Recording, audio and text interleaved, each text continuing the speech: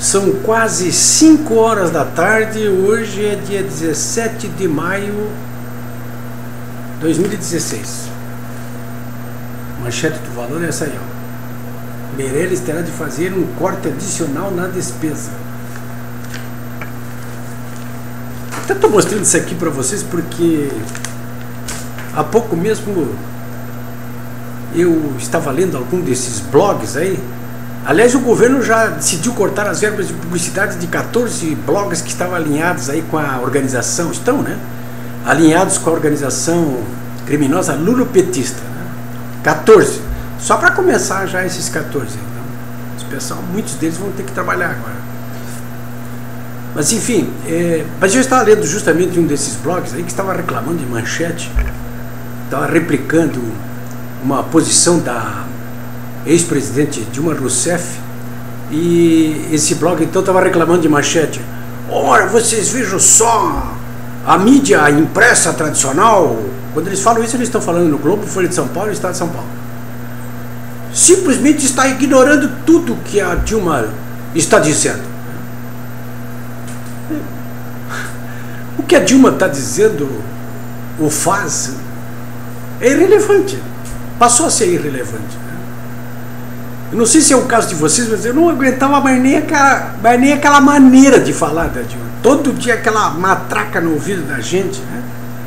Não dava nem. Não dava, até parecia aquelas jornalistas da Globo News. Não, tem hora que não, não dá para ouvir, não dá para. Aquela coisa parece uma papagaia aqui no, no ouvido, né? Uma, uma matraca. Mas ele estava reclamando então da. Oh, mas estão ignorando a Dilma.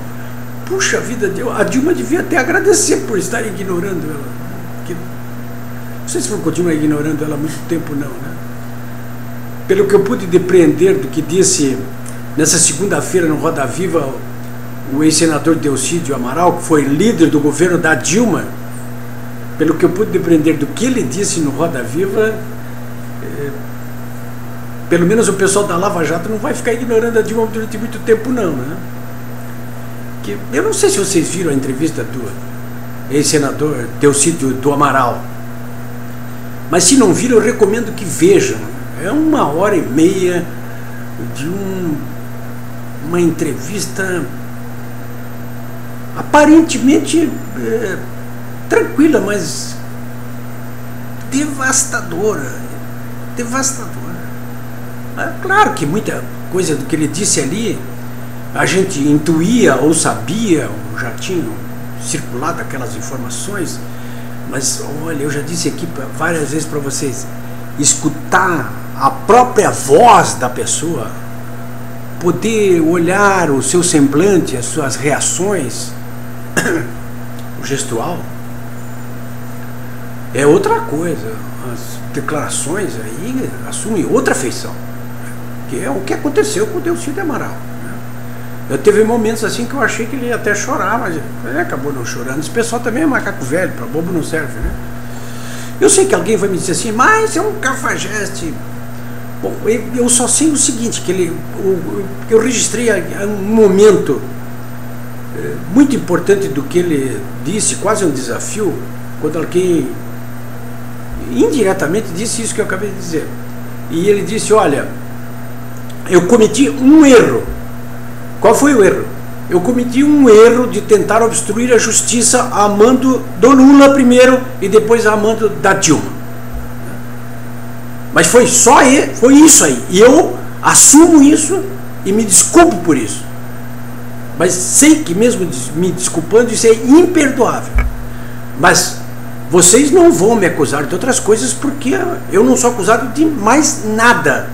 Eu não tenho conta no exterior, eu não recebi propina de ninguém, eu não pratiquei atos de corrupção ativa ou de corrupção passiva, não me organizei em quadrilha, não fiz lavagem de dinheiro, ou seja, não cometi nenhum daqueles crimes capitulados no Código Penal que já levou tantos líderes petistas e empreiteiros para a cadeia. Né?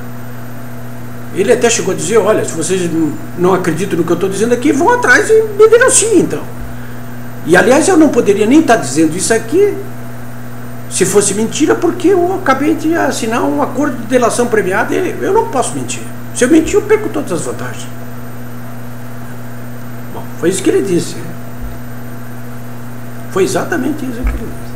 Então eu acho que ganha é, muita importância o que diz o Delcídio Amaral, o que ele disse ontem. Né?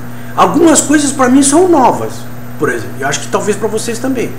No momento, principalmente, em que uma jornalista da Folha de São Paulo, Vera Magalhães, perguntou para ele se era verdade um boato de que ele teria fitas gravadas enterradas na fazenda dele, no Mato Grosso. Ele tem uma daqueles, daqueles sorrisos que a gente costuma dar quando reconhece que é verdade. Mas não quer dizer, e aí ele negou, claro. Senão amanhã, se já estou encontrando grampo até no, no, no, telefone do ministro Barroso do Supremo Tribunal Federal, imagino o que aconteceria com as terras do, do Delcídio Amaral, né? da terra nasce os homens, esburacar tudo lá em, em, no Mato Grosso. Né? Mas ele admitiu que tem, que tem essas fitas, sim, que estão bem guardadas. E que elas aparecerão em caso de desaparecimento dele. Né? Ou quando ele achar oportuno divulgar. Eh, alguém quis mais detalhes, não, não, não vou dar detalhes mas eu vou dizer o seguinte, eu gravava tudo. Outro Paulo Feijó aí, gravava tudo. Puxa vida, quem conversou com o Teocídio Amaral deve estar com os cabelos de pé às alturas do jogo, né?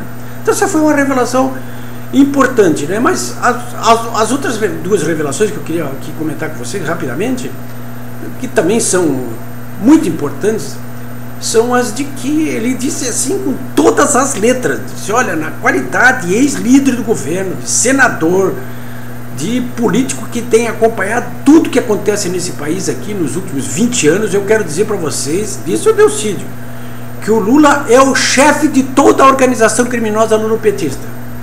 Foi o chefe do mensalão e é o chefe do petrolão. E vai pagar por isso. Bem, bem assim. Vai pagar por isso. E em relação a Dilma, ele fez duas denúncias assim, gravíssimas. A primeira delas é de que ela, ele é um homem, inclusive, da Petrobras, hein?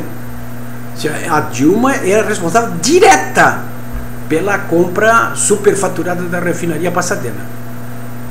E também eh, confirmou que ele foi instruído pela própria Dilma a falar com o atual ministro do Superior Tribunal de Justiça, Marcelo Navarro, que só foi nomeado para o cargo porque confirmou para ele, Delcídio Amaral, de que atenderia o pedido da Dilma e do Lula de libertar o Marcelo Odebrecht e outros empreiteiros e políticos presos em Curitiba na Lava Jato.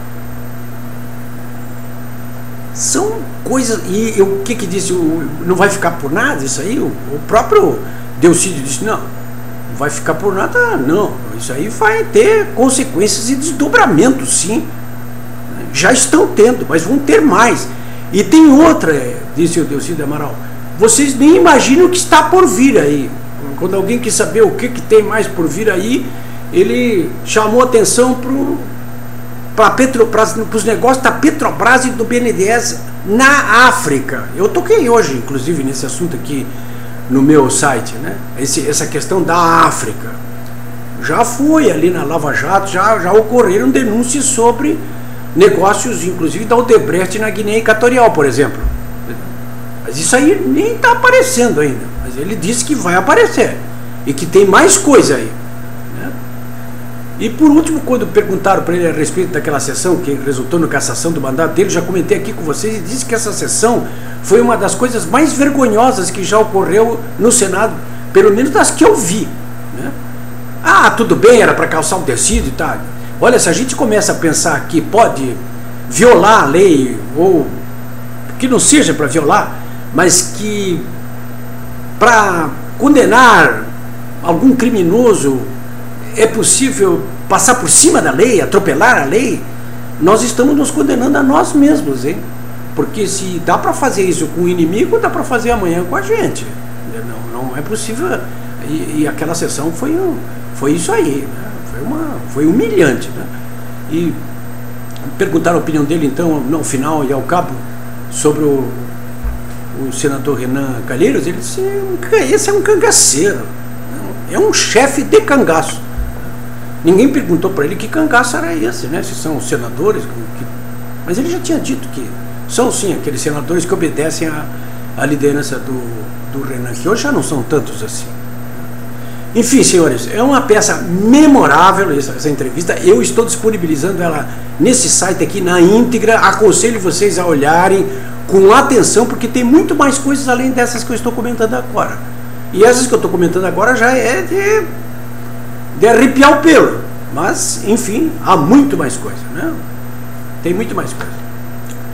Vamos ver se a gente passa esse Brasil realmente é limpo e trata de botar muito mais gente na cadeia, né? Já tem, agora já estão a caminho aí empresários e políticos pelos quais até algum tempo atrás tinha muita gente botando a mão no fogo, né? Já queimou as mãos. Eu volto amanhã.